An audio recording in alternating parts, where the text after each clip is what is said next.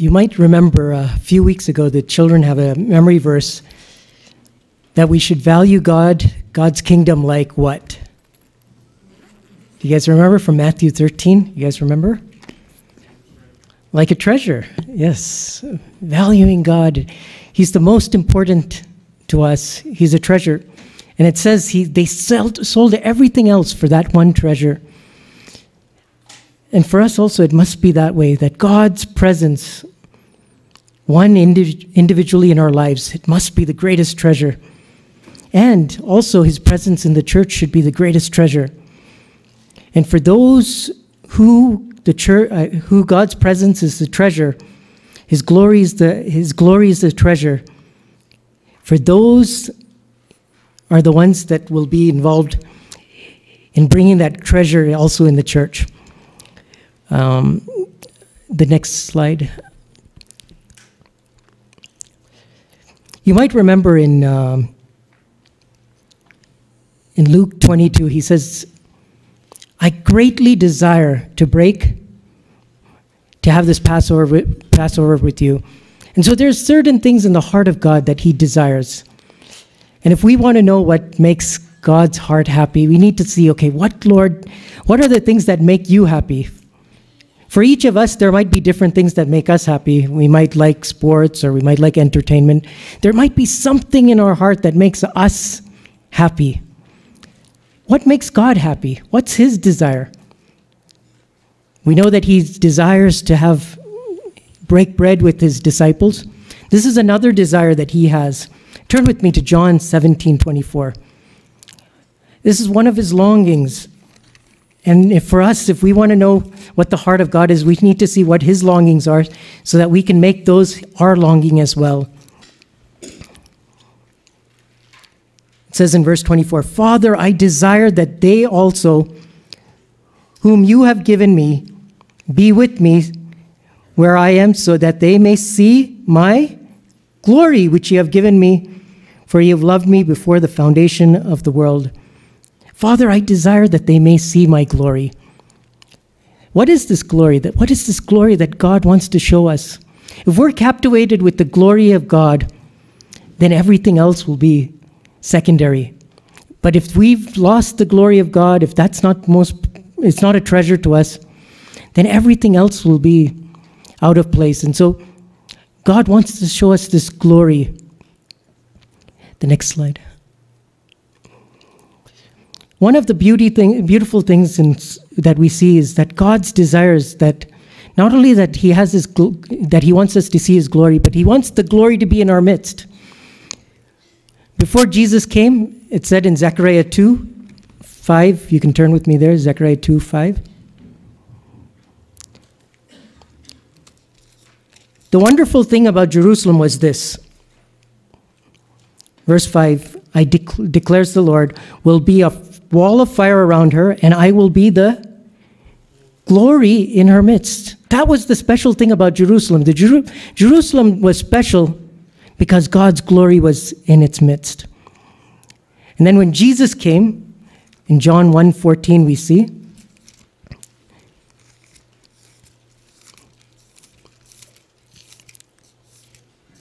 John 1:14 it says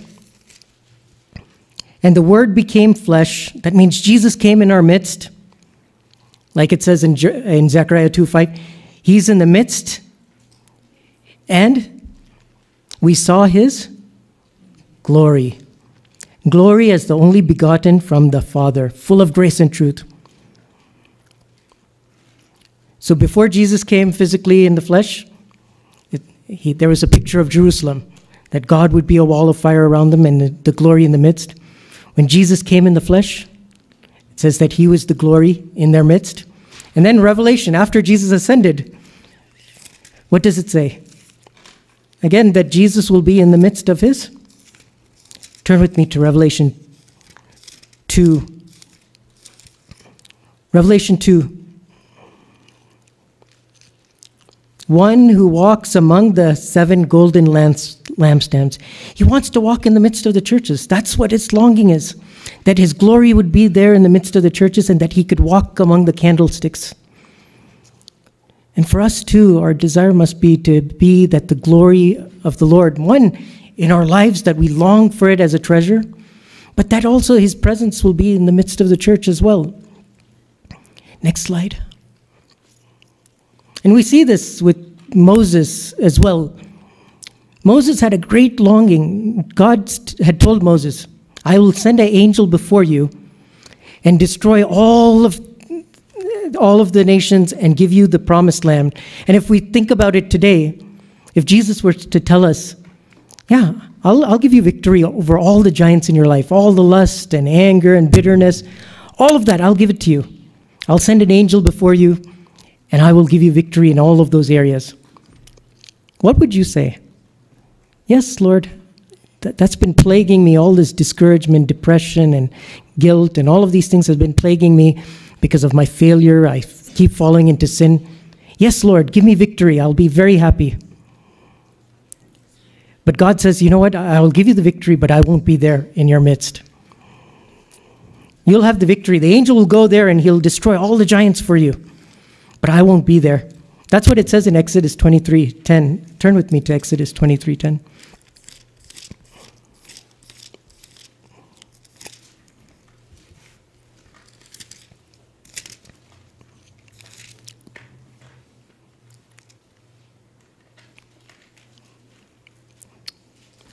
Looks like I got the wrong memory, wrong verse here. Um, oh, I'm sorry, 2320. Ah, that's what it is. Behold, I am going to send an angel before you to guard you along the way and bring you into the place which I've prepared. Would you be happy if God took care of all your struggles and all your trials, but He was not there with you? Would you be okay with that? He solves all your problems, like that song. He'll be a blessing. He'll give us all the blessings that we need in our life. But Moses said, turn with me to Exodus 33. It talks about ex, uh, Moses.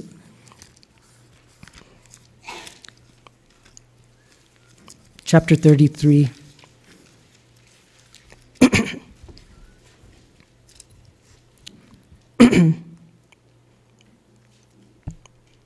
Verse 15, it says,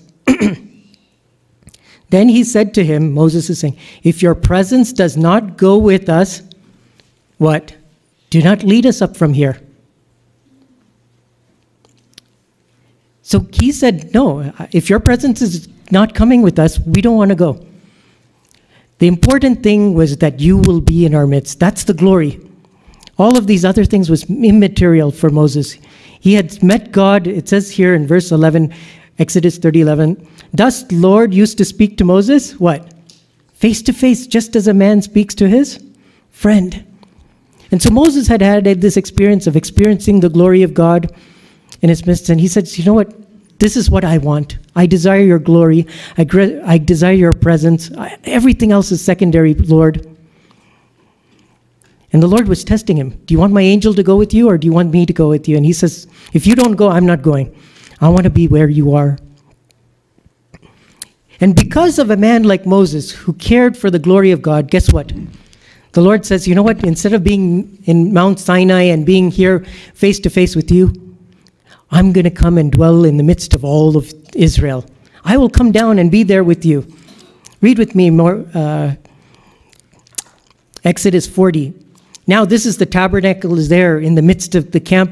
The tabernacle is there, and God's glory wants to be there in the midst of the people, not just with Moses speaking to him face to face as a friend, but now he wanted to be in the midst of the camp. Everybody. It says in verse 34, Exodus 40, verse 34, then the cloud covered the tent of meeting, and what was there? The glory of the Lord filled the tabernacle. So when a man longs for the glory of the Lord in his own personal life, guess what? It'll bring the glory of the Lord what? In the midst of the church as well. And for each one of us, not for anything else, we must make sure that the glory of the Lord is first in our lives, that we value it. He's a treasure to us more than anything else. If He's a treasure to us, then He will bring the glory of God in our midst. I'll be a wall of fire around you and the glory in the midst. But I want to see this, tell uh, the thing that I see in the scriptures, the sad story of what happened was over time, the value that Moses had for the glory of God was lost. Generation came after generation. The first few generations, they saw the glory of God and they desired that God would be in their midst. But as time went on, they didn't value the glory of God, they didn't value his presence. And it's a sad state of affairs. Next slide. This is a question Who said it? I will honor those who honor me. I will honor those who honor me. It's found in 1 Samuel 2:30. Who said these verses? Take a guess. I will honor those who honor me. Who said those verses? God said that, yes. Through whom did he send it, say it? Someone said Samuel. Actually, that would have been my guess as well. that would have been my guess. But read with me, it says here, verse 27, 1 Samuel 2:27. Then a man of God came to Eli and said to him, We don't know who it is. It was just a man of God that God had risen up. The reason I put this out there is because this was a time in Israel's life, in the, in the, in the, in the condition of Israel, you might know that Aaron's descendants were needed to, were, were going to be the high priest, right? The descendants of Aaron were going to be the high priest. And all the Levites were going to be what? They were going to be be the priests serving God. And this is 400 years after, that uh, approximately 400 years after the time of Aaron and all of that. 400 years has gone by, now Eli is there. The best among of Israel, the Levites, the best among them was Eli and his sons. Eli's sons were living immoral lives. They did not care for God. They did not care for his people. They did not. They were misusing the people of God. They were God. God. God was disappointed with them, and He was going to judge them. Eli. He was supposed to be the best of the best, and he also did not have a strong desire for God. The one he was honoring more than God was, you know who he was honoring more than God? When God had told him through this man, through this man, I will honor those who honor me. He was talking about Eli honoring his sons more than God. So God had told Eli, you know, your sons, he, Eli actually saw his sons, how they were living immorally and, and doing all of these things in the Lord, in, in, in, in the temple, I mean, in, uh, in the tabernacle, how they were mis, misusing the sacrifices and how they were being immoral. And he would be soft on them. He said, You know what? This is not good. I'm hearing all these reports that you're being immoral. But he did not care for the honor of God, he did not care for it. And he was soft on them. And he says, and so this man of God, God had to raise up a man of God because it was going to be a little time before Sam, Samuel became older, old enough to speak and be able to say or give a word. So he had to, he, God was desperate. He wanted to preserve his glory in the church, in, in the people of, in the presence of God's people. And so he had to raise up this man out of nowhere, a man of God to come and say, You honor your children more than you honor God. When your children are misbehaving and, and dishonoring God, you're being soft on them instead of saying, instead of correcting them because they're dishonoring God's name. You don't have a care for God's name. And so God had to raise up this man out of nowhere to come and speak this word strongly to Eli because God wanted to preserve his glory there.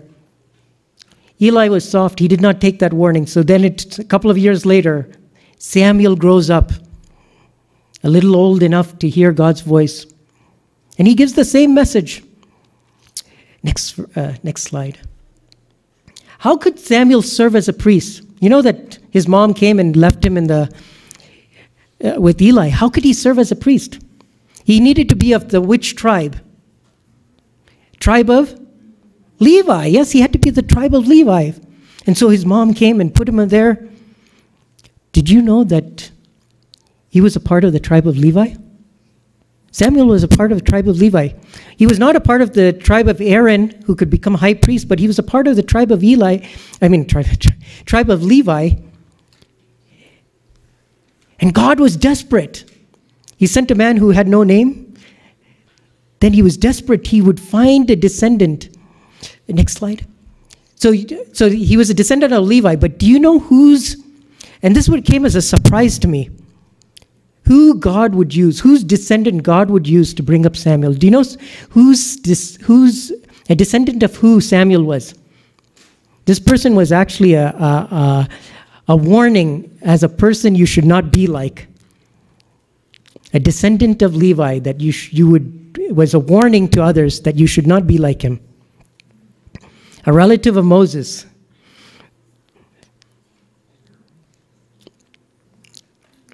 He rebelled against Moses. The earth came and swallowed him up. Korah, it was Korah. Did you know that Samuel was a descendant of Korah? Korah was swallowed up by the earth, but one of his sons said, You know what? I see that Korah is going wrong, so I'm going to not follow my father's footsteps. Even though he's my dad, I'm not going to follow his footsteps. And Samuel was a descendant of Korah. You can see God's desperate measures that he wanted to preserve the glory of God in the midst of, but 400 years have gone by. And then Samuel comes up. Samuel gives the same warning to Eli. Eli, again, he hears it, but he doesn't do anything about it. He's 98 years old.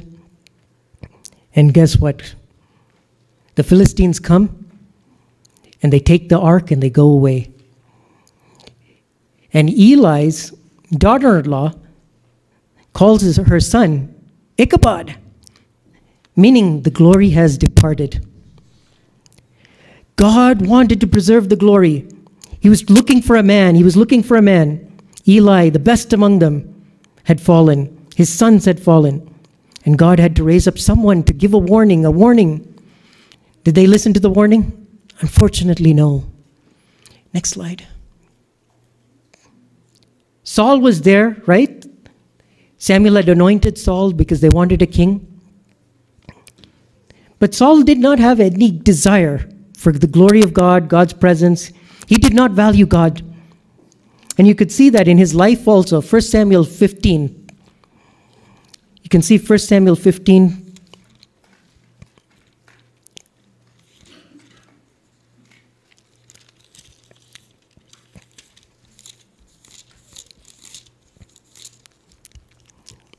verse 29.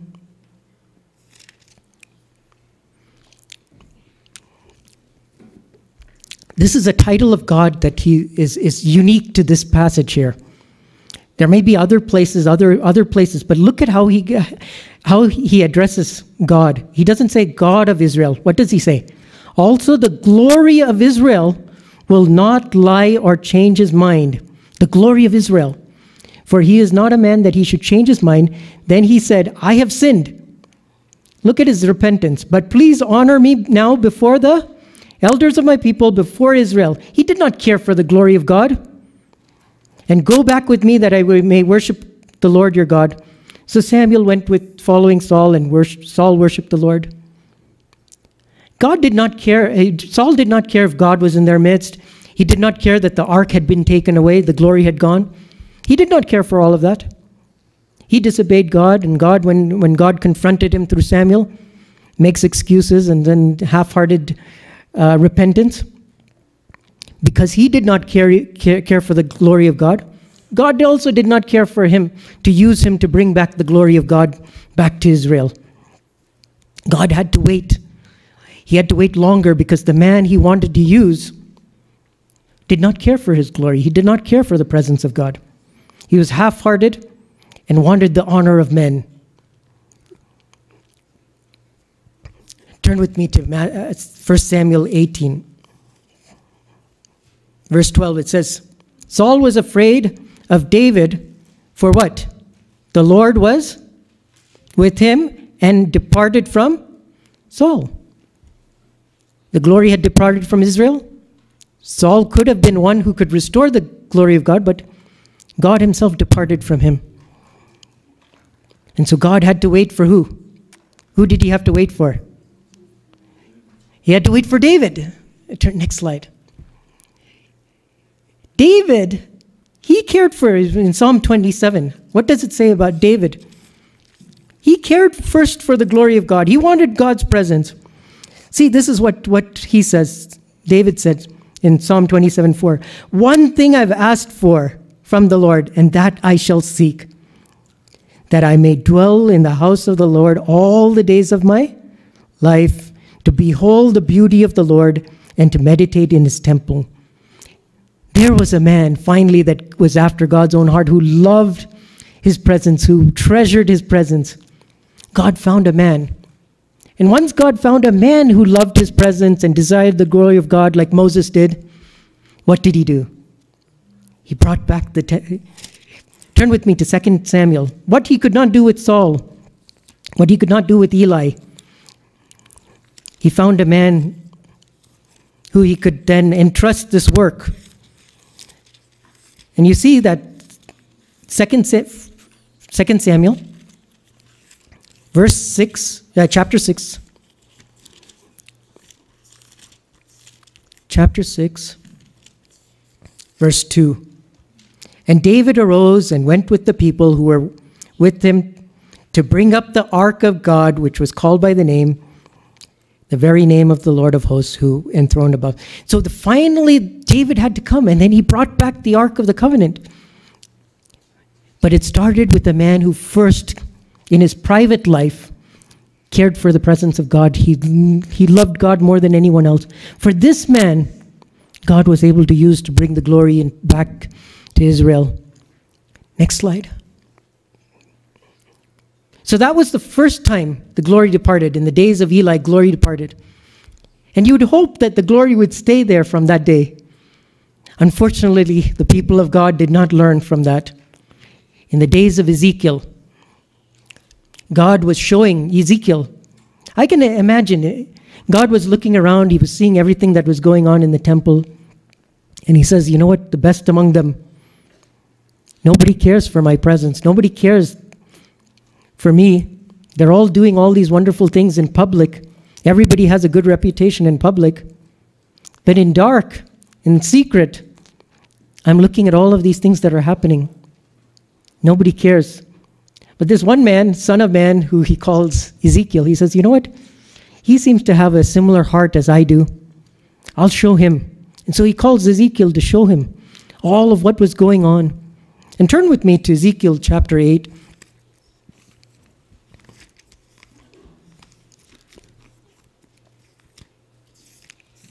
And God, God in his desperation is showing Ezekiel all these things that are happening.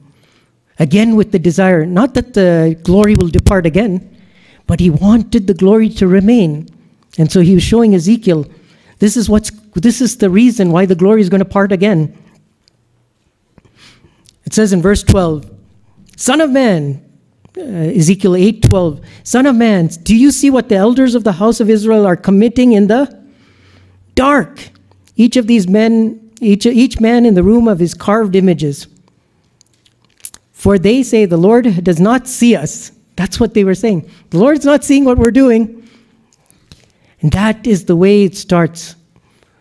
When the people of God think that the Lord is not watching what's happening in secret, what's happening in the dark. See, this is all happening in the dark. During the daytime, guess what? They're all in the church. They're all in the temple. They're all in the courtyard, courtyards. They're all worshiping God in the daytime. But soon as the lights go off, what happens? All of these people going into their secret rooms, going into this place, all in the dark. And then that's where the reality of their lives are coming out. In the church, in the temple, everybody's doing all the right things. But soon as the lights went off, everybody went inside. And these men, they were all having these carved images and living in immorality, covetousness. It says in Colossians 3 5, all covetousness is idolatry, right? All idolatry is covetousness. And so they had all this covetousness of all this, this different things that they wanted and all of that, which nobody else saw. They cared for the honor of men. And it calls out one particular man in, uh, in verse 11. It says, Standing on the front of them were 70 elders of the house of Israel with Jaz- Jazaniah. Jazaniah, and, and Ezekiel was pointing out, you know this, this who's, who's all really, he's doing all these wonderful service for God in the daytime? Look at him. He's there burning incense. The best among them, those who were doing all these wonderful service for God, in secret were living this way. And then it goes down and talks about the women. It talks about the elders, it talks about the sisters. Behold, the women were sitting and weeping. During the day, they were all praising the Lord in the church, in the temple. But at night, why they were weeping? Because they were not content with what was happening in the day. They were not content with the Lord's presence alone. They were not content with the Lord Himself. They wanted something more. You might remember Lot's wife.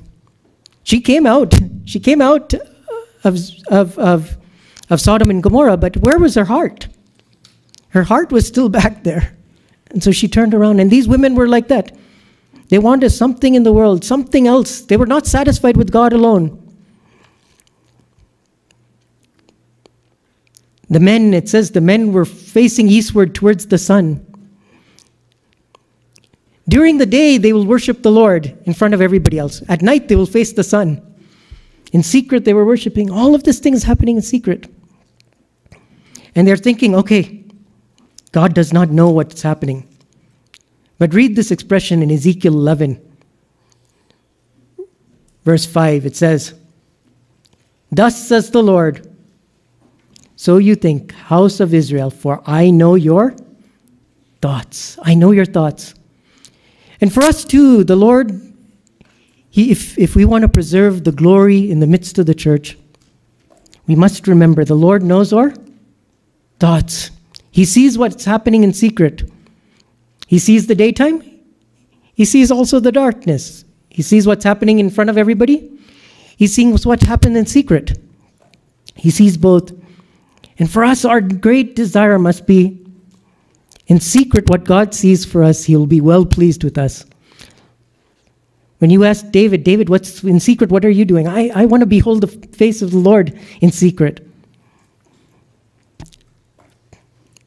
Next, next. I know your thoughts, house of Israel.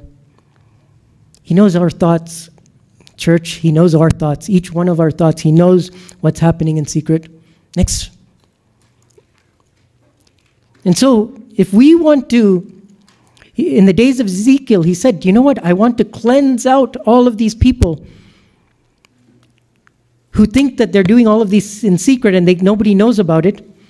Ezekiel, I want to cleanse the temple. And like that, how do we cleanse ourselves today? It's this way cleanse ourselves of all filthiness of flesh and spirit perfecting holiness in the fear of God. Flesh and spirit, there's two places where we must cleanse ourselves. When it comes to the flesh, it's too late. It's already, you know how it says about uh, sin conceiving and then bearing and, and, you know, giving birth to sin? When it gets to flesh, that's already, it's, it's coming out. What was in the heart, in the spirit, has already come out. That's where it's in the flesh. But when it starts in the spirit, that's when we need to cleanse ourselves. And we might say, oh, the Lord doesn't know. That's in my thoughts. That's in my heart. That's in my spirit. Nobody can see that. Hmm, that's what the people of Ezekiel's day thought. That's what Eli thought as well. But the reality is, no. He's watching and seeing what's happening in the spirit. He, he's not fooled by what's happening in the church, he's seeing what's happening in secret. And he says, Cleanse ourselves of every filthiness of flesh and spirit, perfecting holiness in the fear of God. Meaning, whether God, I'm not concerned if somebody's watching me or not because I live before God's face.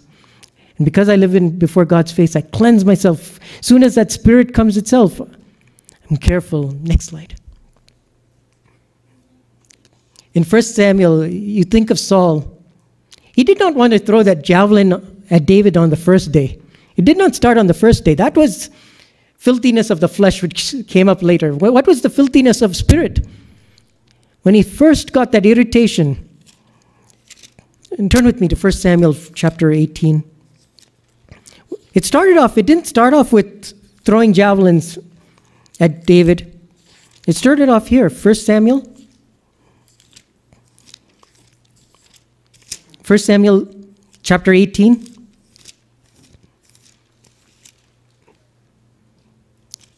Verse 7. The women sang as they played and said, Saul has slain his thousands, and David has slain his ten thousands. Then Saul became very angry for the saying because it displeased him. It started off there. He wasn't happy because somebody else was getting all this credit and all of this thing. He was jealous. It started off with that irritation. He didn't immediately go chasing after David to kill him, not yet.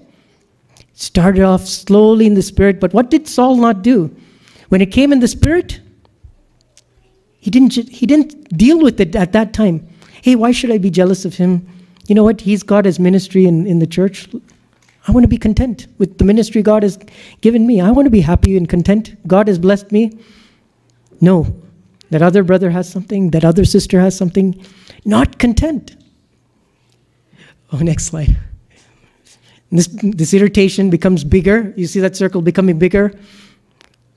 becomes an annoyance. He's annoyed. Every time he sees David, he's getting annoyed. Next slide. Bitterness. And he's plotting now. How can I get back at him? How can I get back at him? What's the chance I'm going to get? And then finally it gets to angerness and unforgiveness. Matthew 5:22, right? Now it's getting to anger where he wants to kill him. He'll, he'll chase him through any cave to get him and kill him. Why? because the women had cried out years ago. He only killed thousands, he killed ten thousands. It started off there. What does this mean for us as the church? When we have a jealousy, when we have some bitterness or something, annoyance with somebody, a irritation, we must cleanse ourselves at that time. We should not wait till it gets bigger and bigger and bigger. No. Cleanse ourselves at that time. Next slide. We talked about that irritation becoming bitterness and anger. What about the area in our relationship? How should we be in the way we talk to one another? In the workplace, in the church, where uh, previous. It starts off with this, this flirtatious flirt, flirting it doesn't start off with spiritual adultery. No, no, it, it starts off in the spirit. It starts off with a flirtatious way of talking with a coworker or with, with someone.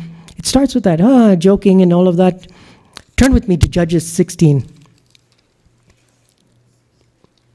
Judges 16. This is the story of, it's a very sad story. A man that God could have used mightily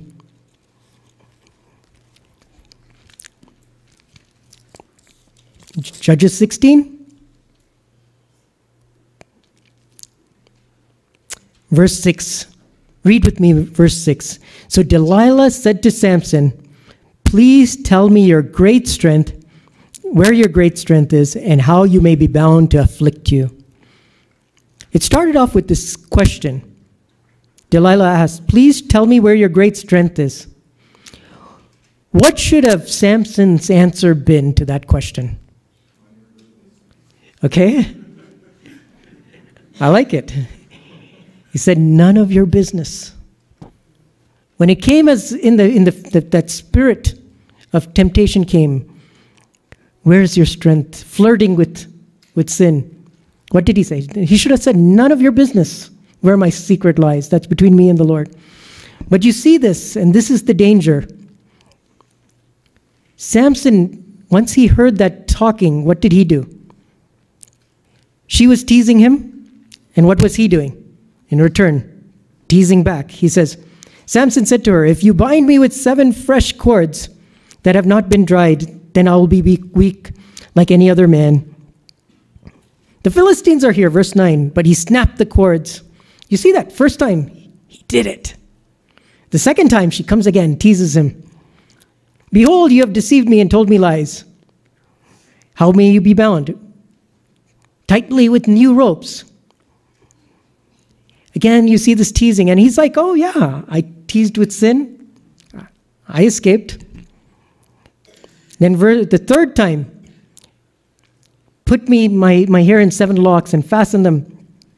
And then again, but he woke up and he, was asleep and pulled out the pin of the loom from the web. And then see what she says in verse 15. Then she said to him, How can you say I love you with, when your heart is not with me? You have deceived me these three times and not told me where your great strength is. Samson thought he could keep going on with this, and that's the way it is when we're playing with sin, when we're teasing with sin. This is how it will go first time, second time, third time. And it came about, verse 16, when she pressed him daily, nagged him, nagged him, nagged him. The sin is nagging with her words and urged him that his soul was annoyed to death. So he told her all that was in his heart a razor has never come to my head. If I'm shaved, then my strength. And even sin realized when Delilah saw that he had told her all that was in her heart. You see this, the man of God, the woman of God, flirting, flirting, flirting, loose talk, loose talk. Oh, God's not seeing, He doesn't see us. The glory. See this. Come once more, for he has told me all that. Sin had knew that she had got him. Delilah knew. This is very sad. Verse 20. She said, The Philistines are upon you, Samson. And he awoke from his sleep and said, I will go out as the other times and shake myself free. But he did not know what? That the Lord had departed from him. The glory had gone. He had thought that the presence of God will be there. He was playing with sin. He wasn't cleansing himself from every filthiness of flesh and spirit. He was toying with that sin, with flirting and all of that. And finally, he, he did not know that the Lord had left him. Why is this example given for us? It's for us to know that sin is going to come like that to tease us. Are we going to tease it back or are we going to say, None of your business. I do not want to have anything to do with you. I'm going to flee. I live before, I perfect the fear, perfect holiness in the fear of God. I'm living before God's face. Whether somebody knows this or not, it doesn't matter. I live before God's face. I'm not going to give in to this filthiness. He was bound, his eyes were taken out. You know all of what happened. Did he realize the situation which sin will bring him down to? No. God had departed from him. And he did not even know. He thought God was with him. No, God had left him. And so also is with sin. If we're not serious about sin, not living before God's face, slowly the glory will depart and we will not even know. Next slide. Loose talk. Next slide. Not fleeing from sin. And then finally, adultery in the heart, which Jesus spoke about. But how should we do it? What should we do? We know that we should cleanse ourselves. Every time we see that trace of sin coming in, that's when it's in filthiness of spirit, when it's starting as that small itch in our skin, when it's a small itch in our skin, we should take care of that and put ointment. But what happens when you scratch that itch? And scratch it, scratch it, scratch it until it becomes a boil, and then we rip the boil. What happens? It becomes bigger and bigger until it gets infected and all of that? What should we have done when it was just a small itch? We should have put a ointment and taken care of it. When it was filthiness of spirit, when it just was coming as a thought in our mind, we should have said, uh, Lord, I reject that thought. But we gave into it, gave into it, gave into it. No. But it doesn't matter how it's been even till today. if we've indulged in the filthiness of flesh and spirit, let us honor the Lord in secret. Let us say, Lord, uh, it, it's been that way. I had this flirtatious spirit. I had this spirit of irritation with my brother and my sister and my workplace. But today, I want to repent. Today is the day of salvation. God has come to seek and save that which is lost. Lord, today I want to be cleansed from this, Lord. Please, Lord, help me. Fill me with your Holy Spirit, Lord, so that when it comes as a temptation, Lord, to be bitter and angry or anything, Lord, that at that point in time, Lord, I, I live before your face. You remember Joseph? That woman came and kept bothering him and trying to tempt him. What did he do? He kept avoiding her, avoiding her, avoiding her, running away. For us also, we must have that same attitude towards sin. He says also there, How can I do this before God? He was saying, no, not, I, I'm not sinning before Potiphar necessarily, but how can I do this before God? He was living before God's face. And Jesus also, he says, the enemy, the, the prince of this world is coming, and he can't find anything of me. His spirit, none of his spirit could be found in me because I've cleansed myself of all this filthiness of flesh and spirit from the age I was of one, two, three, all those years, all those 33 and a half years, I've been faithful to cleanse myself from all of those things. So now, when the enemy comes, he, says, Jesus could say, There's nothing of the spirit of this, the prince of this world in me. None of his spirit is in me. But what did that mean? Did it mean that he never uh, was never tempted? No, he was tempted. When he was on the cross, they said, If you're the Son of Man, if you're the Son of God, come down. They tempted him. But he had cleansed himself from that. When he was tempted to be up, uh, angry with them, he said, No. He cleansed himself because he was living before God's face. When the women caught in adultery came before him, he had cleansed himself from all that filthiness. And that's why the glory of Jesus was there till the very end because he was very careful to please his father. He lived before the father's face. When he saw the woman who was five times divorced and living with somebody, he could talk with them, but he talked with them a clear conscience. His eyes were clear, his speech was clear because he had cleansed himself from every filthiness of flesh and spirit. Next slide. And so, for us, in closing, what should we do? If we want God's presence to be in my life, in your life, and in the church, in the midst, the glory in the midst. And you don't want this glory to depart like it did in the days of Eli. If we don't want the glory to depart like it did in the days of Ezekiel. If we don't want the candlestick to be taken away from the church, what should we do? Like that woman when she had lost the bridegroom for a little bit in Song of Solomon. The bridegroom said, I want to spend time with you. I want to be, in, I want to, I want to be, I want to fellowship. I want your, I want to be, I want you to enjoy my presence. She said, No, no, I have, it's too difficult to get up and get that, come and enjoy your presence. And then the Lord departed. But what did she do? She went and found her bridegroom. And then she clinged on to him and said, What did she say? I would not, never, I'll never let you go and for us too, individually, Lord, I'd never want to let you go because of filthiness, that I'm filthiness of spirit. I want to live before your face. I want to hug you, Lord, and I don't want to let you go like Mary Magdalene. She thought she had lost the Lord, that he had died. But when she saw him, what did she do? She clinged on to him and said, You know, I don't want to let him go. For us too, if we have that heart of that bride to cling on to the Lord, his glory will be in our lives. We will be able to see it. His presence will be in our lives. And His presence will be in the church. May the Lord help us. Amen.